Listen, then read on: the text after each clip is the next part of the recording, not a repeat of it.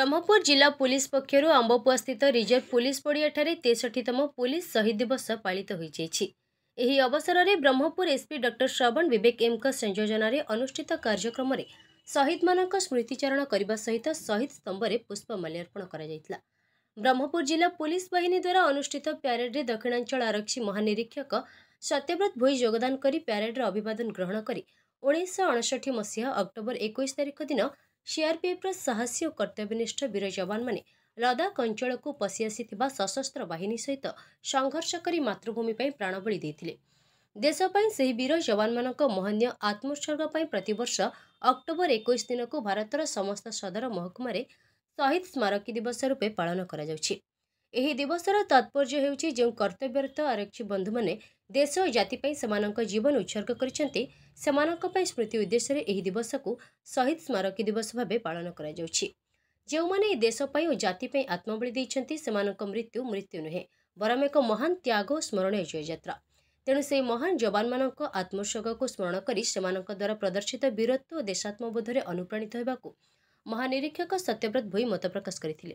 ଏହି ମହନୀୟ ଦିବସ ଅବସରରେ ସତ୍ୟବ୍ରତ ଭୋଇ ରାଜ୍ୟପାଳ ଓ ମୁଖ୍ୟମନ୍ତ୍ରୀଙ୍କ ବାର୍ତ୍ତା ପାଠ କରିବା ସହିତ ଶହୀଦ ହୋଇଥିବା ବୀରମାନଙ୍କ ନାମ ମଧ୍ୟ ପାଠ କରିଛନ୍ତି। ଅନ୍ୟମାନଙ୍କ ମଧ୍ୟରେ ଅତିରିକ୍ତ ରମେଶ ଚନ୍ଦ୍ର ସେଠୀ ଅସୀମ ପଣ୍ଡା ସଦର SDPO Shivshankar Mahapatra reserve police କାର୍ଯ୍ୟାଳୟର ଇନ୍ସପେକ୍ଟର ଦିଲ୍ଲୀପ କୁମାର ବେହେରା ବହୁ ଥାନାଧିକାରୀ ସହ ହାବିଲଦାର ଓ କନେଷ୍ଟବଳ ସଂଘର ସଭାପତି କାଳିଚରଣ ଷଡ଼ଙ୍ଗୀ ସମ୍ପାଦକ କେ ଶ୍ରୀନିବାସ ପାତ୍ର ଉପସ୍ଥିତ ରହି ଦେଶ ପାଇଁ ଶହୀଦ ହୋଇଥିବା ବୀରମାନ ପ୍ରତି ଗଭୀର ଶ୍ରଦ୍ଧାଞ୍ଜଳି ଜ୍ଞାପନ କରିବା ସହିତ ସେମାନଙ୍କ ସ୍ମୃତିଚାରଣ କରିଥିଲେ। ଆମର ପ୍ରତିବର୍ଷ ଅକ୍ଟୋବର ଏକୋଇଶ ତାରିଖ ଦିନ ଆମର ଶହୀଦ ଦିବସ ପାଳନ ହୁଏ। ଆମର ଯେଉଁ ପୋଲିସ ଭାଇ ଭଉଣୀ ପ୍ରାଣବଳି ଦେଇଛନ୍ତି ଯେମିତି ଆପଣ ଜାଣିଛନ୍ତି ଆମର ତିନି ଜଣ ତାଙ୍କର ଶହୀଦ ହୋଇଛନ୍ତି ଓଡ଼ିଶାରୁ। ତ ତାଙ୍କର ଯେଉଁ ତ୍ୟାଗ ଅଛି ତାକୁ ହିଁ ଆମେ ମନେ ପକାଇଥାଉ। ଆଉ ତାଙ୍କର ଯେଉଁ ଆଦର୍ଶରେ ଯେଉଁଟା ଦେଶମାତୃକ ସେବାରେ ହାଇଏଷ୍ଟ ସେମାନେ ଯେଉଁ ମାର୍ଟରଡମ୍ ହାସଲ କରିଛନ୍ତି ତାକୁ ଆମେ ମନେ ପକାଇକରି ତାଙ୍କର ଆଦର୍ଶରେ ଆମେ ଚାଲିଥାଉ। ଏହି ଅବସରରେ ମୁଁ ସମସ୍ତ ଆମର ପୋଲିସ ଭଉଣୀ ଭାଇ ଭଉଣୀମାନଙ୍କୁ କହିବି ଯେ ସେମାନେ ବି ଆମର ଯେଉଁ ଉଦ୍ଦେଶ୍ୟ ରଖିକରି ଆମର ପୋଲିସ ଡିପାର୍ଟମେଣ୍ଟର ସୃଷ୍ଟି ହୋଇଛି ସେ ଉଦ୍ଦେଶ୍ୟଟାକୁ ସେମାନେ ପୂରଣ କରିବେ ଲୋକମାନଙ୍କର ସେବା କରିବେ ଆଉ ସେଥିରେ କର୍ତ୍ତବ୍ୟନିଷ୍ଠ ହିସାବରେ କାମ କରିବେ। ଆଉ ଜନସାଧାରଣଙ୍କୁ ବି ଆଶା କରିବି ସେମାନେ ବି ପୋଲିସ ଡିପାର୍ଟମେଣ୍ଟକୁ ତାଙ୍କର ଯେତିକି ହେଇପାରିବ ସହଯୋଗ ଦେଖନ୍ତୁ ଦୀପାବଳି ପାଇଁ ସେମିତି କିଛି ଷ୍ଟ୍ରିକ୍ଟ ଗାଇଡ଼ଲାଇନ୍ ନାହିଁ କିନ୍ତୁ ଯେଉଁଟା ଆମର ଜେନେରାଲ ଗାଇଡ଼ଲାଇନ୍ ଅଛି ଯେ ସମସ୍ତେ ସେଫ୍ ଦୀପାବଳି ପାଳନ କରିବେ କିମ୍ବା କ୍ରାକର୍ସ ଯେଉଁଟା ତାଙ୍କର ବଷ୍ଟ କଲାବେଳେ ଯେଉଁ ସବୁ ସାବଧାନତା ଗ୍ରହଣ କରିବା କଥା ସେଇଟା ନିଶ୍ଚିତ ଭାବରେ ଗ୍ରହଣ କରିବେ। ଆଉ ସେଫ୍ ଦୀପାବଳି ହେପି ଦୀପାବଳି।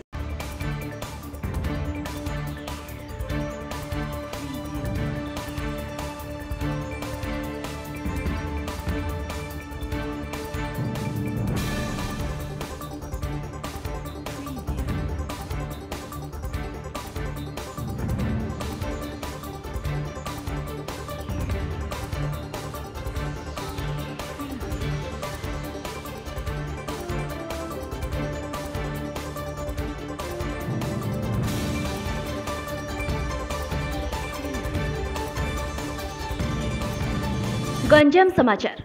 ଆପଣଙ୍କର ଲାଟେଷ୍ଟ ଖବର ପାଇଁ ଲାଇକ୍ ସେୟାର ସବସ୍କ୍ରାଇବ୍ ଏବଂ ଫଲୋ କରନ୍ତୁ।